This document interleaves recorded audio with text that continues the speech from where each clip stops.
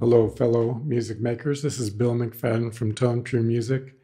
And in this video, we're going to get into the new features of Orb Composer. We have a new version out. And we the version is uh, 1.10. And the new features, we have chord inversions, we have loop markers, we have the ability to copy and paste clips, and as well as chords. There's an updated AI engine and updating the curves automatically updates the clips.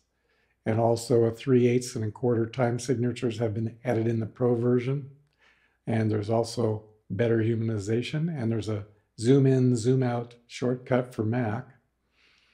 And as well as you can double click on OC files, which will open them if Orb Composer is already open. So there are some known bugs currently being worked on, time signature, signatures for individual bars, and uh, clip input user rhythms, as well as harmonic doubling melodies. So I would stay away from those features until we have a report, until the next update when those have been fixed. So for those of you who are not familiar and or need a refresher on how to use Orb composers, the first thing you do when you open up the program is you choose what kind of an orchestral template you want. Now, if you want, you can hit cancel and then construct your own template. But just for sake, purposes of demonstration, we'll go ahead and do an orchestral and then we'll apply because that gives you all of the AI features of Orb Composer at your disposal. Then the next thing you do is you add in what are called block items. So we'll do an intro. We could do a melodic intro. And we'll just drag that over. Also, we'll do a theme. And we'll drag that over. And then we'll go ahead and do an end. And we'll do a melodic end. And drag that over. So the next step is to actually put measures into these structures. So we go down to the next tab on the upper left, which is the bar items.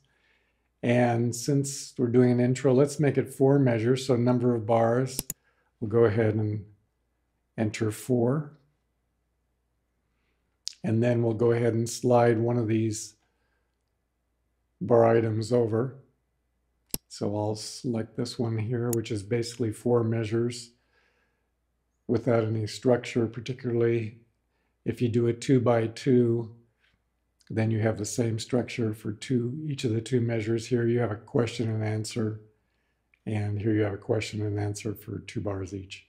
So we'll go ahead and now drag the theme. Well, while we're at it, since we have a four measure bar, let's go ahead and slide that over to our ending. So we'll make our melodic ending four bars as well.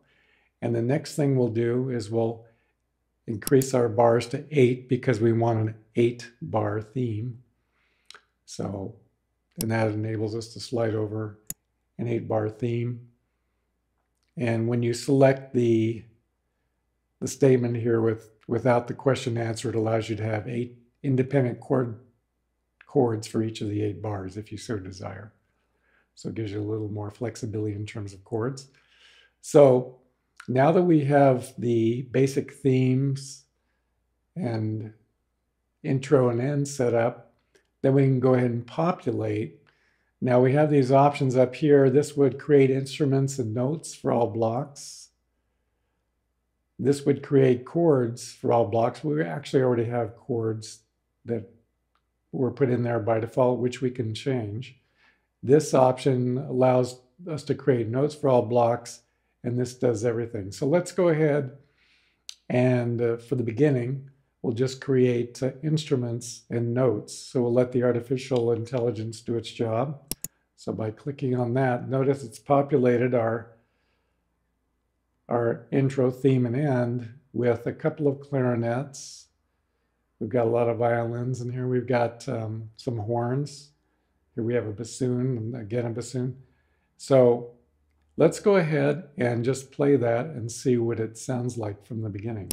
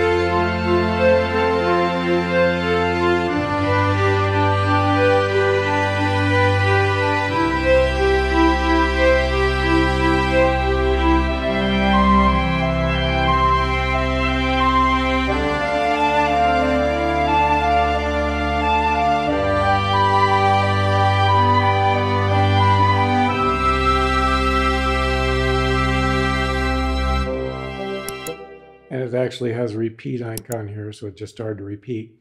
So that just goes to show you with doing really little else and choosing a structure and the the bar items, you could actually get a melody up and going very quickly. We did let it default to the defaults, the C major key, the time signature was 4-4, 60 beats per minute. But of course, we could have altered that. And each of your blocks has its own capability, like our theme block. We have a tempo, we have a key, we have a time signature as well. And over here in the intro block, once again, we have a, a tempo, a key, and time signature as well. So, and the same is true at the end. Just by clicking there, then those parameters become available. So you can tweak all of these things, which we've talked about in other videos. But we'll just sort of focus on the new features. One of the new features is chord inversion. So if I were to go, let's say to the intro, we have a C chord. Here we have an A minor. Now if I want, I can double click on that and I can just do the first inversion. So with the C minor chord, in root position, you basically have A, C, and E. But if you have an A minor over C, basically you're going to first inversion, which would be C, E, A. So here I've put in an inversion in the uh, intro. I could do another inversion right here. You can do an inversion anywhere you want. But let's go ahead and put another inversion right there. So there's a G chord. Let's do a G. So normally with a G chord in root position, you have your GBD. Here's your first inversion. Your second inversion has a D on the bass, and that would be your second inversion there. And so then we could go back and play and listen to the difference with the two inversions that were added in, say, in the intro.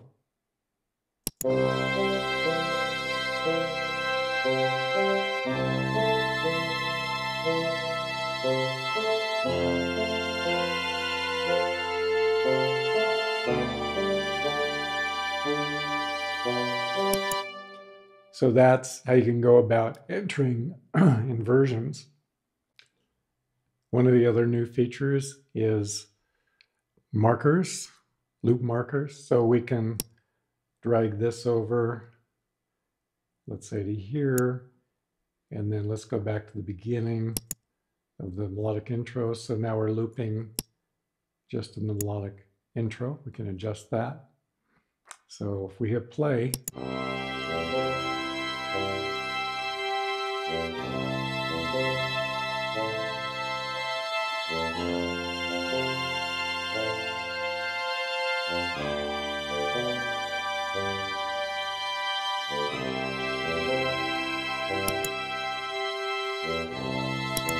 So as you see, it's just going to loop on that area there enclosed by the loop markers.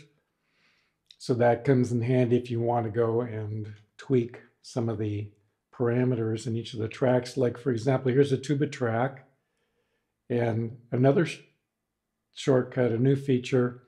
If I click command and the plus minus key, it actually zooms in. So we see that we have these parameters here. This is the dynamics. So it's double piano there. Also, the function of this track is a background track, as we see. And of course, we've got the dynamics as we looked at the role, which in this case is background. You can increase the momentum, which is the number of horizontal notes per measure. And the, the complexity refers to the rhythmic complexity. The register, if you want a low register, high register, medium, or you can go up very low, very high. Polyphony. So in this case, we have four voices and then different chords, chord notes applies on certain kinds of tracks. Also for the violins, we see here we have a background track. So the role for this is a background. The dynamics are pianissimo, we have a rhythm, very low momentum, so very few notes per measure in the horizontal. And then complexity, the rhythmic, rhythmic complexity is average. The register is medium. And polyphony, polyphony four. So that would be up to four notes.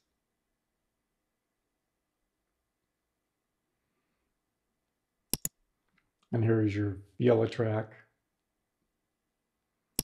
So it's a melody track. So as far as dynamics, we have piano, rhythm,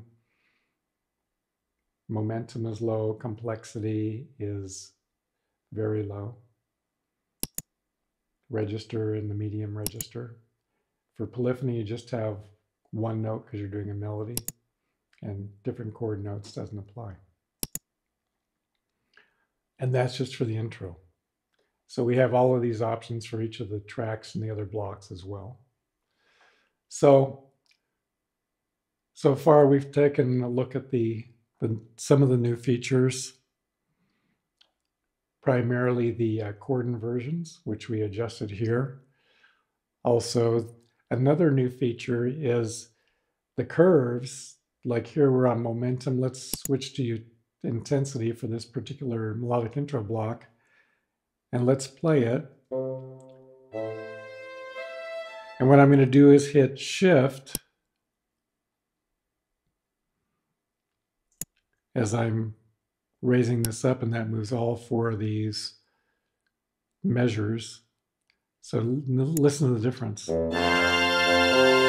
So we see the melody increased intensity in terms of dynamics. And if we go down here and wait a second.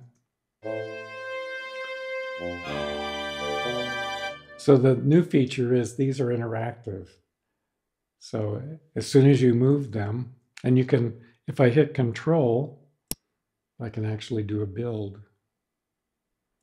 So if we go back to the beginning of the intro,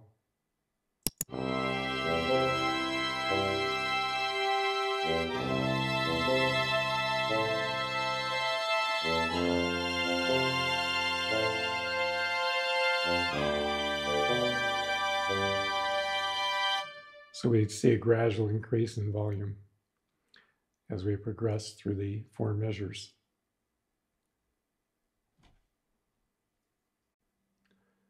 So let's go ahead and take a, another look at the zoom in, zoom out feature.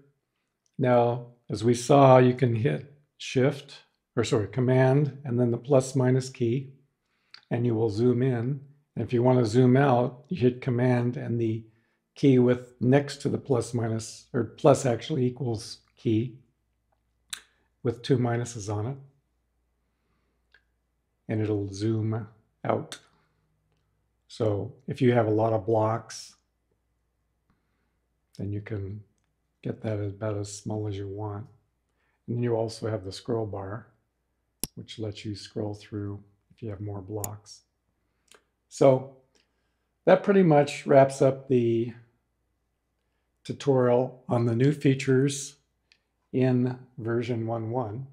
So this is Bill McFadden. If you like this video, please click like. If you wish to subscribe and be notified of upcoming videos in the genre of film scoring, we talk about sample libraries, programs such as this uh, involving artificial intelligence, as well as theory courses getting into harmony and chord structures and so on, all with the eye towards film scoring.